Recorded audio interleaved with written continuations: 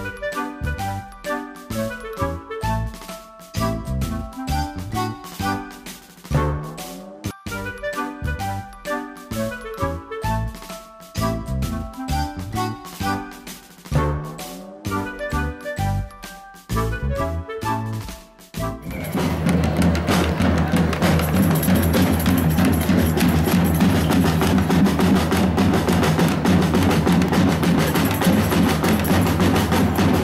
recibamos con un fuerte aplauso a los compañeros que vienen a darnos una muestra de una expresión artística que necesitamos recuperar aquí en la parroquia. Tenemos un teatro, la Casa del Encuentro. Les recuerdo, la idea de este festival y traerlo acá a la parroquia se sintetiza en darles a nuestros niños una motivación y una iniciativa para que puedan desarrollar capacidades creativas. Este festival de teatro está enfocado para la familia, para los niños.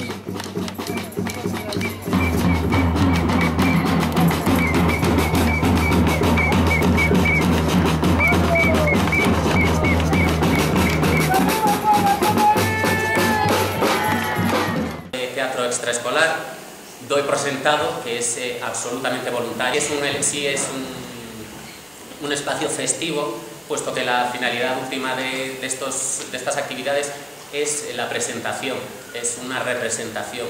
Eh, y es este ofrecimiento eh, y apertura a la comunidad lo que le da un carácter festivo.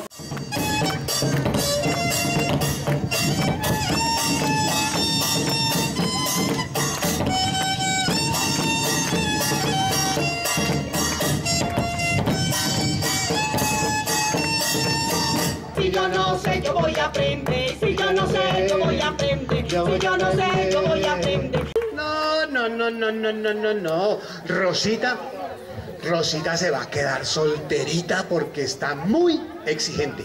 Dicen mis tías que es mejor sola que mal acompañada. Perdón. ¿Ah? Cásate con el botellero que ese sí que te conven. Botellero vende botella, puede venderme a mí también. Y a mí no me conven, y a mí no me conven, y a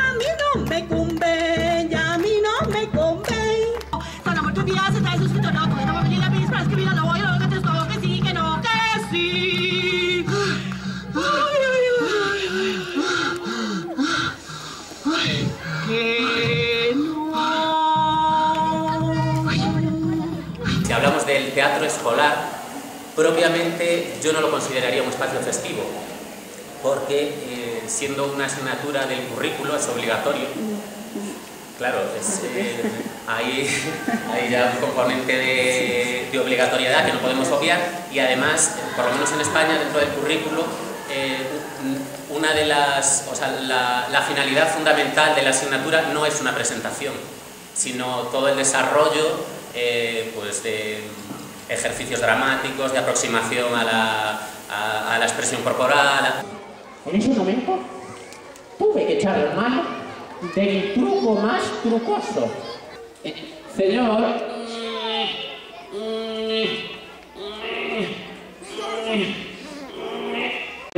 Es sordo. Jefemina ruidosa. No habrá jamás en el mundo una pareja más hermosa.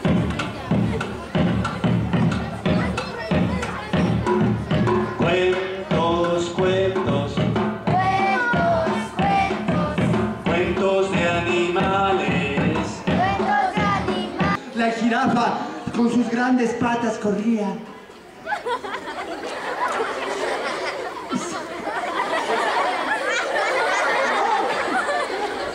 Y el guepardo.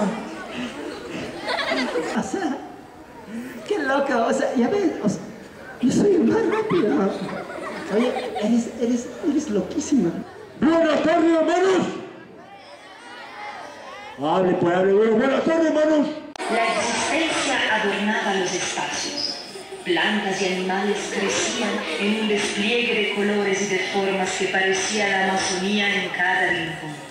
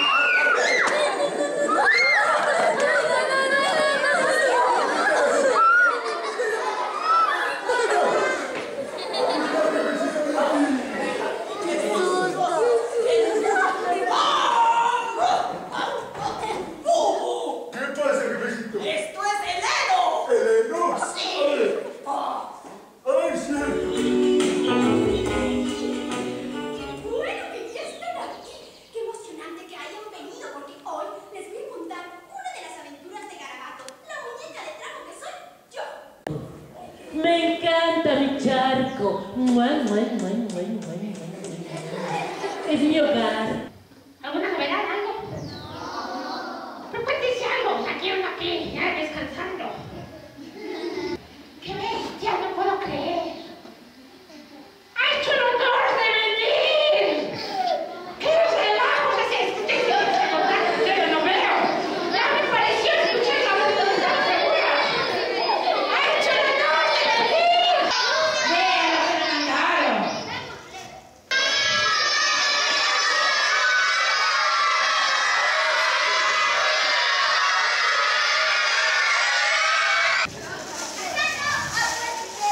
¿Ya saben hacer esto? ¿Una, dos, tres?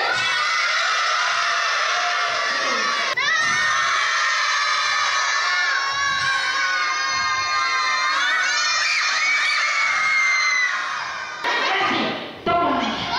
Toma los Martins.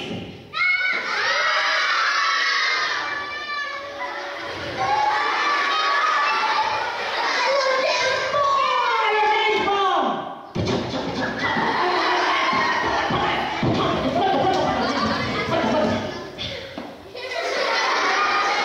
Pero lo que pasa es que les voy a explicar qué pasa. Di mi palabra. Y la palabra es lo más sagrado que tenemos hasta las brujas. Y cuando uno se da la palabra, toca sí o sí hacer lo que uno se Dime, ¿qué te gusta? Hola, a mí me gustó la, la el garabato porque cuidaba el medio ambiente. Mm, ¿y ¿Qué más te gustó? Ah, la garabato. ¿Y la bruja qué tal te pareció? No me gustó tanto ¿Por qué? porque no recicla. Ah, ya, bueno. Ya que los arquetipos se manifiestan en los personajes, porque no son los personajes, los arquetipos son espacios para llenar, ¿no?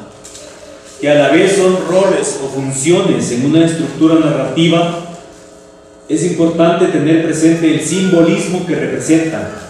Así, el héroe va en una travesía en la que se encuentra con personajes arquetípicos, un donante, un mentor, un guardián, la fuerza oscura, sombra, contra la cual tiene que luchar para cumplir su misión y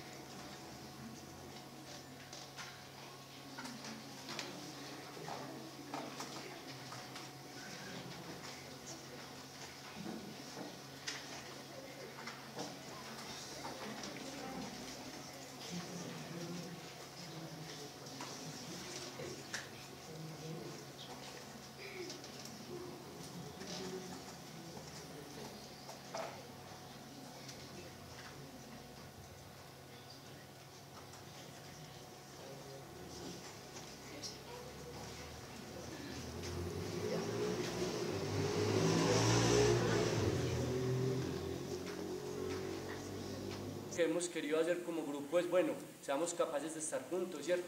Seamos capaces de, primero, seamos comunidad nosotros. Listo, hay una vaina individual que nos juntó a hacer teatro, lo individual es las ganas de hacer teatro, lo comunitario es bueno, venga pues seamos capaces de hacer teatro juntos, eh, pero ayer estuvimos en la comunidad de Carcelera y fue muy bello, nos presentamos a las tres con, con un espectáculo, una vaina de, de Baudelaire y de la poesía maldita y de, Una cosa muy rara. una cosa muy rara, pero entonces fueron unos chicos de, de colegio y era muy bonito porque, porque una escena y, y los pelados hacían "Uh, ah". y bueno, era muy chévere porque, no porque fuera buena, es a lo que voy, sino que terminamos de, de la obra y conversamos y entonces el señor, el, el profesor que lo llevó, nos contaba que ellos no habían visto teatro, pues, y da- daban las gracias porque era la primera vez que, que se les abría esos espacios. Entonces era muy bello porque decíamos, y fue madre, esa es la comunidad, ¿cierto? A nosotros eso nos interesa, nos porque, porque nosotros no hacemos teatro comunitario, porque el teatro es comunitario, tiene que ser comunitario. Tu vergüenza igualaría tu gloria y no serías más que un feto irrisorio. Todo el caos rodó en esta inteligencia.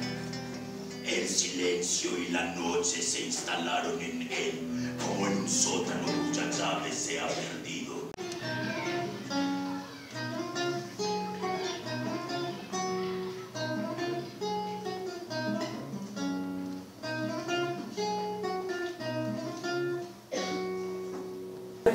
Charles Baudelaire, como les digo, es poeta maldito, es francés, tiene las flores del mal, tiene eh, pequeños poemas en prosa, tiene los paraísos artificiales, ¿cierto? Y es una poesía así, medio oscura, pero, pero mentiras que no es oscura porque logra encontrar lo que le digo, bellezas en Necesitamos muchos de estos estímulos para que vayamos desarrollando una cultura eh, crítica, una, un- vayamos eh, acrecentando nuestro acervo cultural.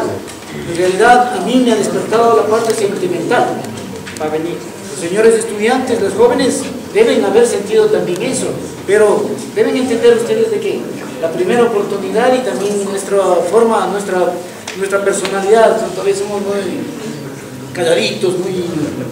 Entonces, a nombre de la institución eh, Unidad Educativa Ligrado Chávez, yo voy a pedir a Dianita y a todos sus compañeros que por favor continuemos con este tipo de alternativas de producción, de capacitación, de información y, ¿por qué no?, esto de cultura y la felicitación de parte de la Unidad Ligrado Chávez a ustedes, un excelente trabajo. Muchas gracias.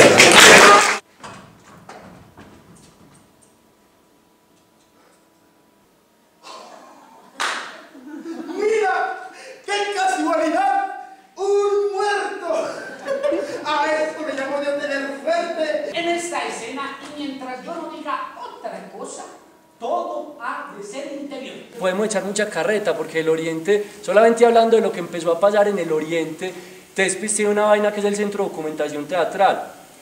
Es muy loco porque el Centro de Documentación eh, Teatral lo tienen los grandes, los grandes eh, eh, grupos de Colombia, la Candelaria, el Matacandelas, y, y estos manes, unos campesinos, porque somos campesinos patirrajados, eh, lo tienen. Es muy teso porque esto no, puede, no, no es que suene a chicaneo, sino que, que pasan cosas tan bonitas como que nosotros estuvimos el año pasado, estuvimos en Italia como 42 días y el, y el, el director de, de Cultura y Patrimonio de Antioquia nos decía, ustedes no se dan cuenta lo que están haciendo. En 200 años de historia que tiene eh, eh, Antioquia, es la primera vez que un grupo de pueblo, de provincia, logra ir a Europa a hacer teatro.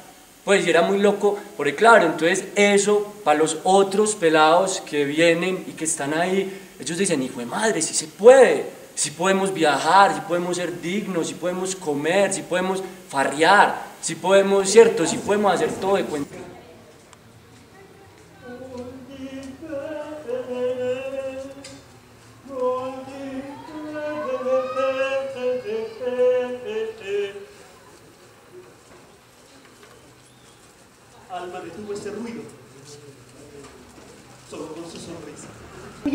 Presentarles al mejor profesor, el licenciado Garro.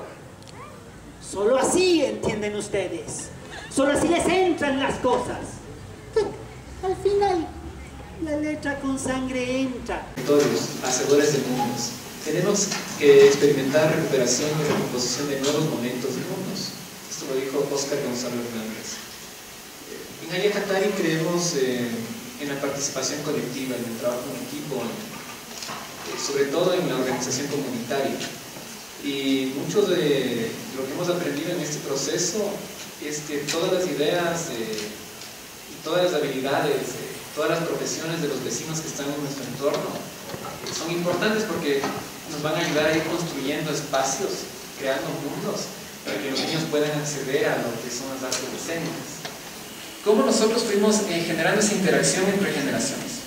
Entonces, Primero ir a conversar con los vecinos de la tercera edad, que se vinculen a las actividades de gimnasia rítmica, tuvimos vecinos que se ofrecieron como voluntarios para dar las clases y hay profesionales de toda índole, desde albañiles hasta un vecino que es de PhD en economía, cosas así, ¿no?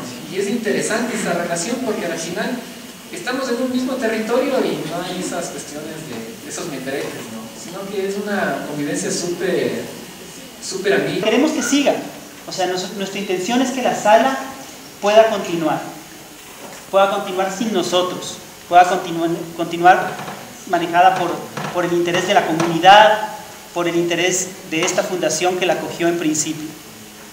Entonces, esa es nuestra idea, esa es nuestra idea y nuestra esperanza. Ojalá que, ojalá que sea posible, porque creo que eso le hace mucha, mucho bien a- a este país. Uno sale de Quito y no existe, el teatro no existe. Uno sale de Quito y el teatro no existe. Creo que estos procesos son importantes. El único problema, y creo que eso sí es importante decirlo, es que no existen instituciones ni autoridades que mantengan este proceso. Este proceso se sostuvo porque uno se pone a sostenerlo, ¿no? Con llamadas para llenar la sala, llamando a la gente, buscando, haciendo el contacto para que los hoteles reciban a los grupos, para tener la alimentación de los grupos. Es un trabajo que no genera eh, sustentabilidad para el grupo. Pero de todas maneras, creo que algo, algo está sembrado. Algo está sembrado y, y esperamos que, esa, que ese algo sembrado pueda crecer y pueda dar frutos desde la comunidad. También otra realidad que vemos y otra conclusión importante es que nosotros no podemos estar siempre allí para que la cuestión funcione. Llega un momento en el que la comunidad debe tomar en sus manos el teatro y tiene que haber tanta fuerza para que eso se sostenga, para que no sea el esfuerzo de una, dos, tres personas. ¿Sí?